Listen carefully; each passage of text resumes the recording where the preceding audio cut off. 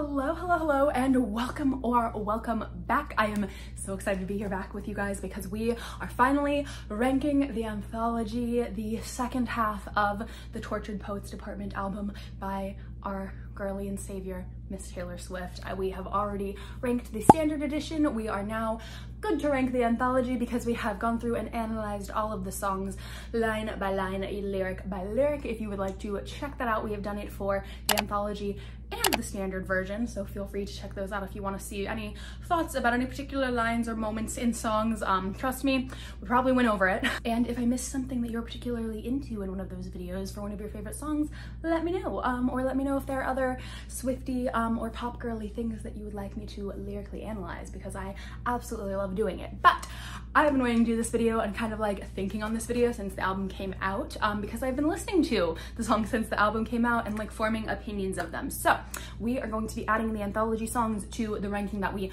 already have for the Tortured Poets Department Standard Edition. So before we get into it, we are just going to review the tiers that we have set. So starting at the bottom, we have the Unneeded for Me Thank You tier. Um, this is for songs that are just not necessary as a part of the album or the canon to me. They didn't really do anything to me. I personally would be the same if they did not exist. Not very many of those, don't worry. Up from that, we have the I can appreciate why you are here tier. It may not be like my vibe. It may not like grab me or like catch my attention in a specific sparkly way, but I can definitely understand how it adds to the album, how it adds to the Taylor Swift discography, how it adds to the canon, how it adds to the Taylor. I can understand why it's present and I can appreciate it for that reason. Bumping up from there, we have the on repeat tier. These are simply the songs that I have on repeat. These are the ones that I am spinning. These are the ones that I am getting in my car or pulling up my phone and I am pressing play on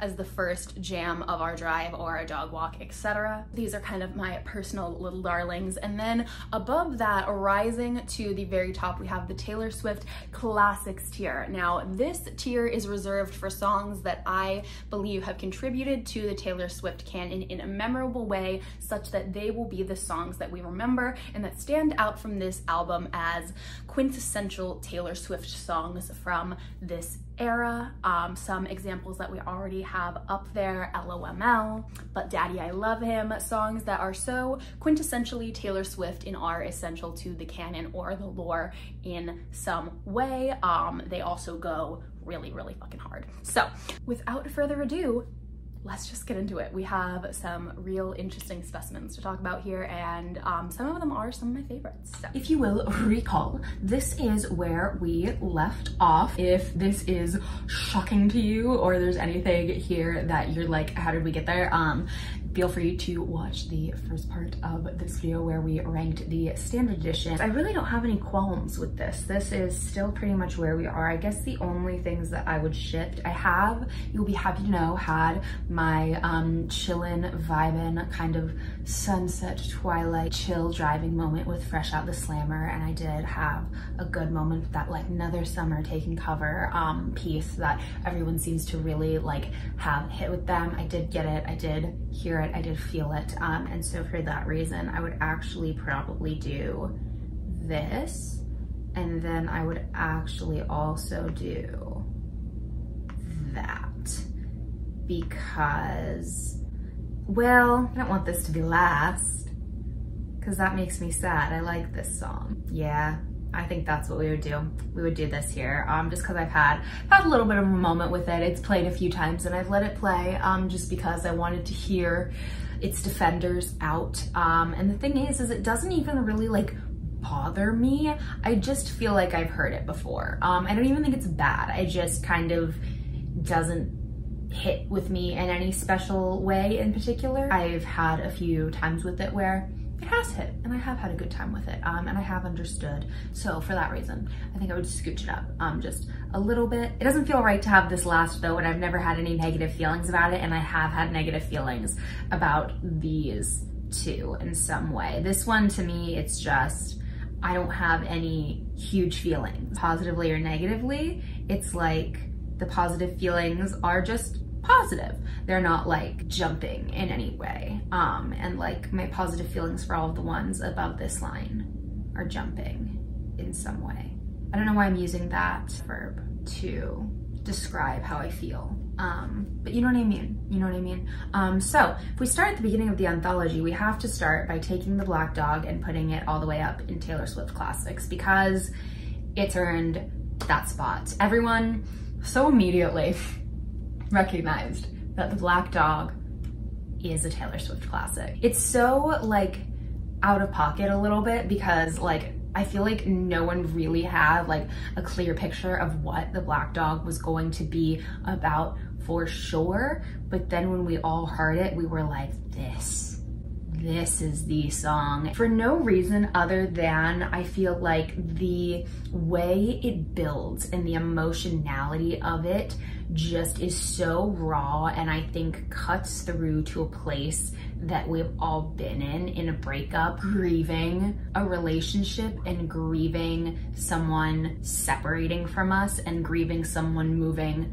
their boxes out of a relationship and just being in that pain and lashing out because of that pain and in that pain and then kind of rising up out of that anger into a little bit of healing. Um, I talk about it ad nauseum um, in my analysis of this song, but I just feel like there is a catharsis in going through the breakdowns and the grief and the pain of this song and coming up the other side and saying, I hope it is fucking shitty in the black dog and I hope you feel every piece of me that dies when I'm trying to figure out how to exorcise the demons that your ass wove into my soul. Um, I just, I love, love, love that. And I think that Taylor Swift really brings raw emotionality and just real relatable feelings into her songs so well in a way that is so specific that it becomes universal. There are specific feelings and moments and paradigm shifts that I think a lot of people experience within certain circumstances within their lives. And Taylor really does a great job of bringing language to those and putting them in her songs. And I think the process and the catharsis that you go through throughout the breakdowns that you have in the course of your healing after a breakup is really, really, really well represented in the Black Dog. And it just feels so achingly amazing to experience with Taylor when you listen to that song. And that is what reminds me of why I loved her so much during my early years of loving her, during Fearless, during her debut era, during Speak Now. It was what I loved then, and it's one of the many things I love now, and it's just done so powerfully in this song. I'm gonna get you back. I really, really, really liked in the early weeks of listening to this album and I feel like it was kind of a sleeper hit for everybody else. Like it's kind of just growing on everyone else now. Um, and I'm actually not getting tired of it, but starting to go into a new phase of listening to songs. And so I would definitely say it's either on repeat or will return to. I think it's probably right about here in will return to because I definitely will continue listening to it, but I feel like my time of putting it on repeat has probably passed. I put it on repeat in the first like two weeks the album was out a lot um, because I was really attracted to, like I felt like it should be on the first half of the album. I just felt like the pacing and the production really fit in with the first half of the album, but I get like it was kind of hard like with like the timeline and stuff of the first half, like to figure out where to put it. And so I get why it was included here. I think if this had been like a smaller project and like the anthology of it all, like stretching out 31 tracks hadn't been the thing they did, this would have been one of the bonus tracks or the vault tracks to this album easily. Um, and I really love some of the TikToks I've seen people make to it. I really like it. I think I just maybe have kind of, I don't know, like played through my on repeat phase for it, but I love how it kind of has like this like double chorus. I see the whispers in your eyes, that slower part, but then also like I'm gonna get you back part of the chorus that's a little bit faster. I love the balance of that. I love the like hard beats in the production, the like what gonna smash up your bike I don't, don't haven't decided yet I love that um yeah big fan I well I'm talking myself into putting it higher now well because mm, I definitely will return to it. Yeah, maybe we should have it in the on repeat tier. That one's getting really full though. Uh, okay, we're gonna put this down here. And I think we're actually gonna move Florida down too because I feel like my on repeat phase of that has also kind of faded. Um, but my on repeat phase for all of these has definitely not. So, oh God, um, I'm getting nervous about how this is gonna look at the end. Okay, the albatross.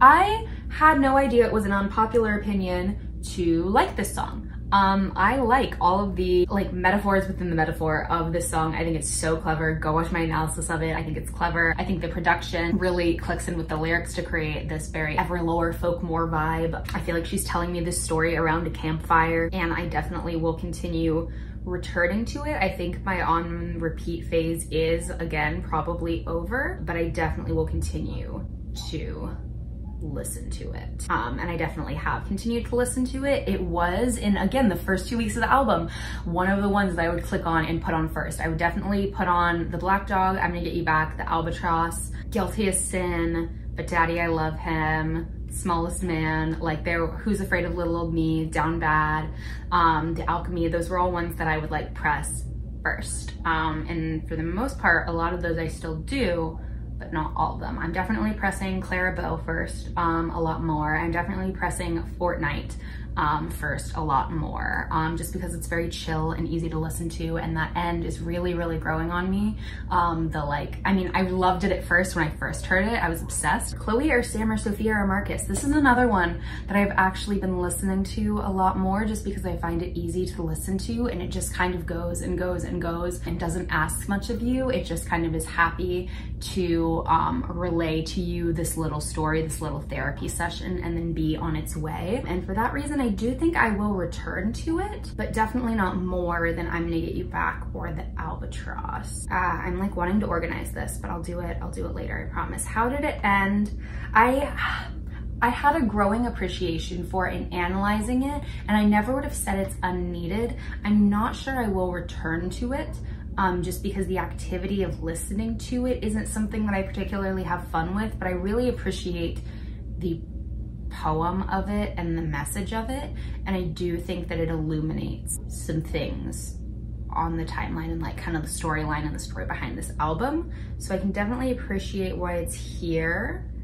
And I do think I would put it behind all of those ones on the standard edition. So high school, again, my appreciation for this has grown since I kind of, I wouldn't say fully slandered it in my unpopular Tortured Poets era opinions video, but I definitely, I I said that I would have rather had a different song in its place on tour. I don't necessarily feel that way now. I think it's a fun, cute set to watch. I love all of the references and stuff and like Travis watching and like the fact that she did it as a surprise song when his family was there. Very cute, very sweet. It clearly means something to her and she's clearly very in love and very happy and very excited to perform it when she does and like definitely, and they definitely had a lot of fun like choreographing it.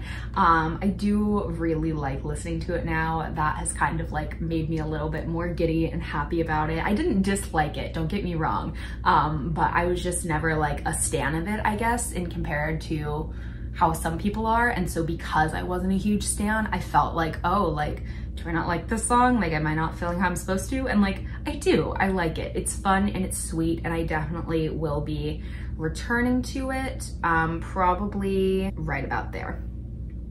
I hate it here. I, she said with joy. Um, I really appreciate I Hate It Here. It kind of reminds me that I hate it here sometimes. Um, and so I don't necessarily listen to it on repeat or a lot. Um, and I'm not sure how much I will return to it, but it's definitely like, it's a comfort to me that it exists and I enjoy it. And so maybe I would put it probably like right here. Oh dear, did we need, do we need another tier? I don't feel like, I don't feel like we need another tier. These ones are gonna be in different categories though. Thank You Amy is in I Can Appreciate Where You Here. I do not re-listen to this a lot. When it comes on, I let it play, but I don't particularly seek it out. I guess it's just like, it's in a family of songs that I actually tend to really like. And it's not even that I dislike it or think it's bad, it just kind of doesn't do a ton for me. Um, it's just sort of like fine and cute. Um, and so for that reason, that is where it's going to go. I look in people's windows on repeat. I am obsessed with it. It is going straight to the top of on repeat. Yes, above Guilty as Sin. Yes, above The Alchemy. Yes, above Who's Afraid of Little Old Me. Yes, above Down Bad. And I'm not sorry. I am a I look in people's windows stand. I pledge allegiance to I look in people's windows at this point. That song is just so haunting and lovely and wonderful and I would be absolutely worse if it were not in this world. the mysterious element of it, because she's not particularly straightforward telling you why any of this is happening, but it is all kind of this very like shady, sneaky, like avoidant behavior. And there are so many questions unanswered, but then just in the way she describes things happen, you kind of sort of start to get an idea of why this might happen and also how it's sort of a metaphor. Like you can picture her walking around in the cold, looking through people's windows to the warmth inside and the glow coming out at her and like you can see the light on her face and her like hoping to lock eyes with someone in inside. There's so much imagery that is just pulled so wonderfully from these simple words and this really unique instrumentation and plucking. And the atmosphere that it creates is so like it feels like there is a feather drifting out in the cold in the wind and that is Taylor and she's searching for like the thing that she lost. Like she is Horton looking for the speck in the clover field, just aimlessly searching, hoping that she sees this random person in a sea of millions, um, hoping against hope because she's hoping that that's what the prophecy has in store is for them to lock eyes one more time and for one thing to be different this time. Like it's just all so fate fueled and it kind of has a dark cast over it. And we know I love things that have just like a little bit of a dark tinge to them. There are so many tiny Taylor Swift things in this song. The anxiety, the wondering, the ruminating, the fate, the endless love, the invisible string of reconnecting with someone, the kind of like lurking, sort of like stalking, um, watching and like remembering mastermind vibe of like always keeping tabs, always having a file on everything that ever happened in your mind, um, forgiving but never forgetting, or doing neither and pressing on anyway. This song is so Taylor Swift in so many different little ways, and for that reason, I think that's why it draws so many of us in and is so addicting is because it has little sprinkles of so many things that we as Swifties just absolutely yearn for and love. Um, not to mention the yearning. Oh, we love yearning, um, and so does Tay. And she she yearns so good um, in this song and a couple others that I really love. Um, speaking of which, The Prophecy, a Taylor Swift classic. Um, and I'll tell you why. Even if you do not listen to it constantly, I definitely, I've grown into listening to The Prophecy fairly consistently, especially after analyzing it. And this, like But Daddy I Love Him, like Clara Bow, like LOML, like even I Look in People's Windows is just rife with Taylor swiftness. Um, this is the return of the invisible string, the idea of fate, the idea of things being prophesized, the idea of her and her life already being laid out, but also the things that switch and change having to do with her choices and essentially karma and thinking back and wondering what in the master plan did I do to switch to end up desolate like this? Will I always be wandering looking in people's windows because of a choice I made because of something that was meant to be because this is how the universe has balanced out. But it's also so incredibly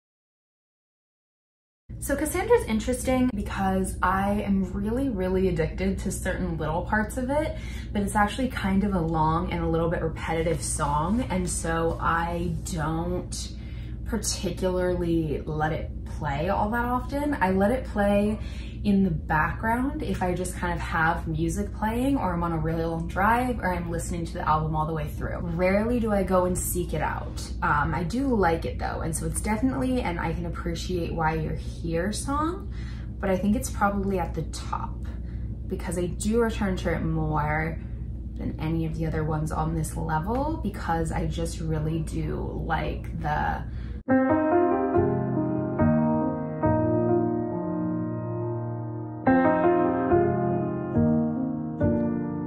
verses I'm obsessed with. The chorus I like, but the verses I'm so deeply into that I listen to the song just for them, even though the song is like mostly chorus. Peter, I really deeply appreciate. I pretty much never listen to though I'm gonna be so honest with you guys. I pretty much never put it on. I think maybe around oddly like Christmas time um, I might end up listening to it more. I'm not sure what that is but that's just the feeling I get. Um, but I definitely definitely definitely appreciate why it's here. Again watch my analysis if you want to know why. Peter is just so layered and there's just so much juice um, there. There's so much lore there and it really makes clear and solidifies, I think more than any other song, how like the different threads of the central relationship in this album weave throughout so many of her poems um, that this was swirled into. It's just so clear and so consistent. Um, and she ties it in here in Peter in several ways, not to mention the things and the metaphors that start here um, and that can kind of you see that were brought out to other songs and that this was maybe kind of the starting point for certain other metaphors that had to do with this relationship. Um, and so for that reason, I can definitely appreciate why Peter's here. Do not really listen to it that much. Probably would end up putting it right there. I've really gotten sick of the Tortured Poets Department song. um, I, I really, I never liked it like that much. It was just kind of like the title song. And so I feel like my appreciation for it as the title song has just completely flopped and faded. Um, and I pretty much never listen to it now. And My Boy Only Breaks His Favorite Toys, I never ever listened to before. And I'm just like slowly kind of giving it a chance every now and then um, and like sort of enjoying it. And so it's just, it's crept up a little bit. But I do feel like these are more lived in rankings than my first one. I wouldn't say anything's like drastically changed, it's just these are more solidified and probably longer lasting. The Bolter, I love the Bolter. The Bolter is on repeat. I am part of Club Bolter. I like the Bolter just as much as Fortnight and just as much as Who's Afraid of Little Me and Down Bad, I listen to it just as much or more. I love everything about The Bolter. I love the like story and the message of it and kind of the question of like, is the fact that like the relief of being free and leaving to find something different and better and something that could fit me more and like the idea of that feeling like life and death at the same time like is that what has gotten the prophecy to this point is this why I'm on my knees and why why I can't find my forever love is that why. Like I love that connection there but I also love the kind of like polite vintagey old-fashioned language that makes it feel like from a time gone by that's just very like cute and I feel like we haven't seen Taylor do or show her kind of like vintage flair um, quite as much since the Folkmore era and so I love seeing it here. I also kind of love the like pattern break of the swearing in um, her fucking lives flash before her eyes and she realized it feels like the time she fell through the ice and then came out alive. Again, watch my analysis but like it just breaks the formality and the polite language of the rest of the song um, and like really zooms in on that moment as like the apex and like the most important moment. And like when you think about it, it takes a second, but you get why the like fell through the ice and then came out of live metaphor is there because it's like a shock to your system and like you think you're dead, but then you like have this gasp of air and you have hypothermia and you still feel like you're dead, but you actually like feel like reborn because you actually like almost died um, and like you're still alive and like it's just so much and it's so good. And I really, I really enjoy it and it's a good time to listen to. It's upbeat, um, but it has like a little bit of darkness to it. And I just absolutely love that. I know you could say the same for Thank You, Amy. Thank You, Amy doesn't hit me in the same way. That's really just like all I have to say. The romanticism of this and like the cuteness of it um, and like the relationship aspect of it and like the avoidant um, attachmentness of this, I just find relatable and cute um, and I bond with and like um, more than Thank You Amy personally. Robin, the one occupant of the unneeded for me thank you category. I just think that she should have given this song to Aaron or Robin. I do not think it needed to be on her album. If you are a parent, I get you probably feel differently. I'm not a parent, and so I I think this song is fine. I am not affected by it particularly. I like Never Grow Up a lot more. I feel like it takes a lot more work to understand and get on board with the metaphor in this song than I would like it to for a song that's this short. This song just feels a little empty to me. Um, sonically, it just feels really empty. The Way to Go Tiger and Higher and Higher thing I get it's supposed to feel like soaring and like you're just like sitting there happily watching a kid and it's supposed to just feel like something that would play during a montage of happy childhood memories. I get that. Doesn't do much for me personally and like the things that I'm saying about that, it I've had to like get there. I've had to like listen to it again and again and like analyze it to get there. I understand it intellectually, emotionally, it doesn't hit me in that way. Um, and things about childhood and growing up, they definitely do. This one doesn't personally. I made a joke about it on TikTok and I got a lot of moms saying that they really like it. Um, I don't personally feel that way, but if you do, I understand, like intellectually based on the lyrics and having having heard the song, I get why you would feel that way and I support it. I personally don't.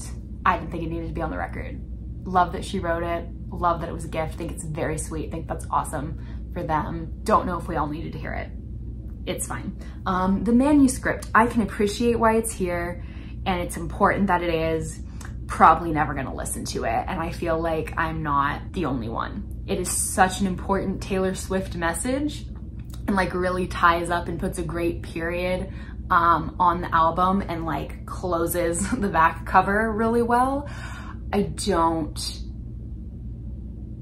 think I need to hear it all that much. And like, I'm afraid that's how some people feel about Dear Reader. I love Dear Reader. I will listen to Dear Reader. Dear Reader is, I feel like I'm having a meditation session with mother and she's imparting wisdom to me. And I'm just like hearing a prayer. Um, when I listen to Dear Reader, the manuscript sounds like something that would play during the credits.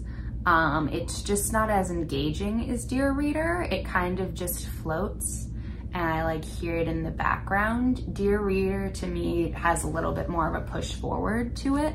Um, that this doesn't. And so sometimes I'll let it play and sometimes I'll be like, no, this is gonna make me too sleepy, we need to skip it. And so I can definitely appreciate why it's there. And so for that reason, I think I'm probably gonna put it, ooh, like right here. And not even because I listen to it more than some of these, but because its importance, I feel like just pushes it up to where it can't be. it can't be any lower than this. And that's just what I've decided. Okay, how do we feel about this? Do we wanna reorganize anything? Let's see. Okay, I think that's where we're gonna be. Um, I moved Fortnight up solely because every single time it comes on, I do just let it play. I have skipped Guilty as Sin a couple times. I don't know why. I don't know why I have. I think I might have, I think I might have OD'd on it just a little bit. I think I might have overdone it on that one in the Alchemy um, just, just a wee bit, just a wee bit. Um, same with Down Bad, and I feel like I've watched the Who's Afraid of Little Old Me tour performance so much that like I look in people's windows, The Bolter and Fortnight are really just like my songs as of late, and so I feel like those are probably the ones that deserve to be on the top. Um, I've never gotten tired of But Daddy I Love Him. Yeah, never really gotten tired of any of these ones. Yeah, no, I think this is this is where we are. So let me know how infuriated you are or what you agree with. This is always hard because like ranking is so, do you, you have to kind of like look at how they fit into the canon as well as like your own opinions. And so that's why I have like the Taylor Swift classics tier to kind of like balance that out a little bit with songs like The Prophecy and LML that I'm not like, and even like Smallest Man that I'm not like listening to every day, but like carry the weight in my heart, like are heart handing in my heart because they're important. Whew, all right, we did it, we did it again. I actually had a much easier time with that than I thought I was going to, and I feel like this is a pretty accurate reflection of my feelings and my thoughts about the Tortured Poet songs after everything has kind of settled in. Um, it was interesting how you talked about there were some songs that I like really, really, really was attracted to and went really hard on in like the first two weeks of the album release, but then things have kind of like leveled out and balanced out um, with those since then. So I don't know, I always find it really interesting hearing what people initially think and then how things kind of simmer out a few like weeks or months after they've like lived with the album, what actually kind of like rises to the top and what like they're attracted to. And so I find that really interesting in rankings. Let me know what those songs were for you guys and what your thoughts are on my thoughts and my ranking of this album. I feel like people have very differing opinions about the songs on this album and everyone kind of has their like one or two tracks that they will just go to bat for. Um, and for me, I feel like those are The Bolter and I Look in People's Windows. I will defend those songs till the end of the earth and I definitely feel like not everyone feels the same way but let me know if you do and what those songs are for you off of this album. Once again thank you thank you so so so so very much for being here it means the absolute world to me that you would click on my little video and watch all the way to the end. So thank you thank you thank you for doing that. It makes a huge difference. What also makes a huge difference is if you did like this video and you made it this far you probably liked it. I'm guessing I'm hoping. Let me know by clicking the little like button. It makes my heart soar and glow every single time I see one of those little likes. I do see them and they make me so happy. Subscribe if you would like to see more videos. We have some more thrifted fashion content like coming um now that like we've gotten through the behemoth that is TTPD and analyzing and ranking it. Um, I'm gonna show you guys what I've been wearing this summer and figuring out how to sweat in and still look cute as well as prepping my outfit for the Eras Tour. So we've got a lot coming out for you guys in the next few weeks. I'm so excited. I will be going to one of the Eras Tour shows in the second round in London. So you'll be hearing about that as well. I am sure this outro is getting too long. Thank you for being here. It means the world and I can't wait to see you in the next one. Oh, follow me on TikTok too. I'm posting every single day on there and I know I only post every like week or so here. So if you'd like to see more content of the same ilk that you see here, same vibe, um, check it out. I have it linked below. I will see you in the next one and I cannot wait. Mwah.